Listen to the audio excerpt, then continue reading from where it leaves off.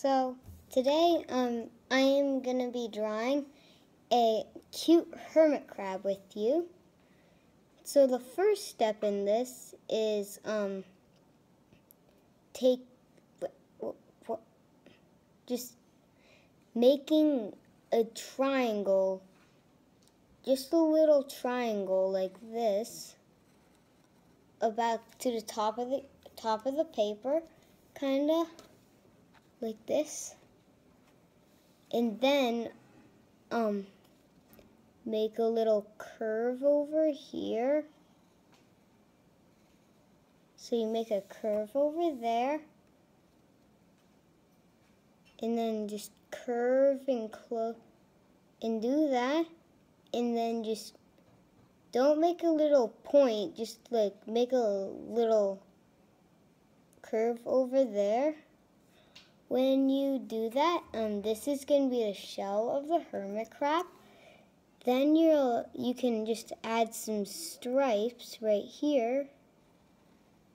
So you can add some stripes and maybe like one up there, which I do. So then, um, after that, what what you do is um, you do like a little circle over that um little ditch area right there.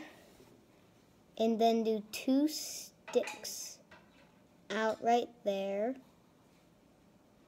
There, so that's that.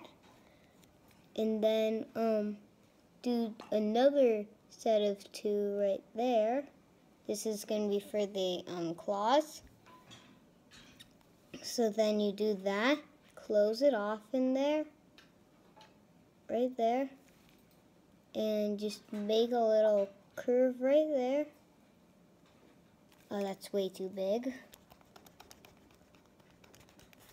Um, so just make a little um, curve right there. And then make a curve right there, but don't connect them. You're gonna um, close it in like that. And then close it in like this.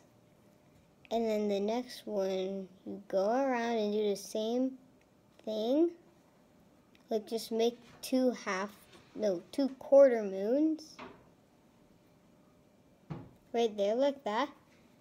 And then the last step is that um, you make the eyes. So you could do it just like that, but if you want to finish it there, you can, and then just color it or else you or you can just make circles around the eyes which I'm doing like that to make it a little more cute.